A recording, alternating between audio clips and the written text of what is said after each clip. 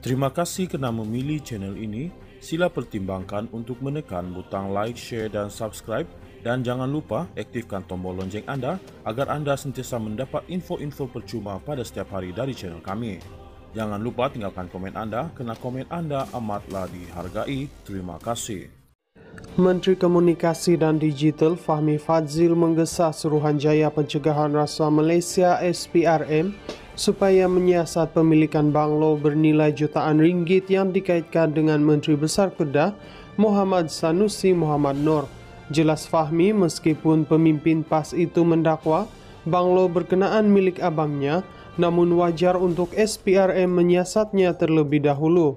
Kita kena tanya dia satu benda simple. Banglo macam mana? Banglo ini siapa punya? Orang dulu-dulu sebelum ini, kita tanya pasal isu Bangla. Sekarang kita tanya pasal isu Banglo pula.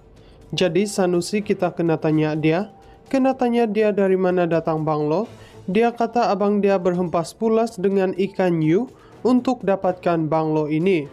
Katanya ketika berucap pada program Jelajah Madani Dewan Undangan Negeri, Dun Permatang di Dewan Sebaguna Haji Omar, Kampung Bukit Belimbing di Tanjung Karang malam tadi.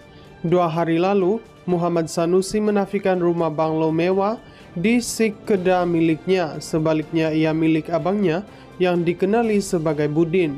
Menurut Sanusi, seperti dipetik Haraka Daily, abangnya itu bekerja sebagai penyelam dasar laut. Penafian itu dibuat ketika dakwaan dia memiliki sebuah rumah banglo di Sik seperti yang ditularkan menerusi media sosial. Orang Sikh Rata-ratanya tahu rumah itu rumah Budin bukan Sanusi. Sebagai adik, saya tahu abang saya sudah lama bekerja keras untuk membahagiakan keluarganya. Dia seorang yang berhati cekal, kuat kerja, berdisiplin dan mempunyai kesanggupan yang sangat tinggi untuk meningkatkan taraf hidup.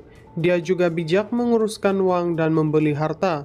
Saya sendiri kagum dengan pengorbanan dan kesanggupannya katanya dalam satu kenyataan.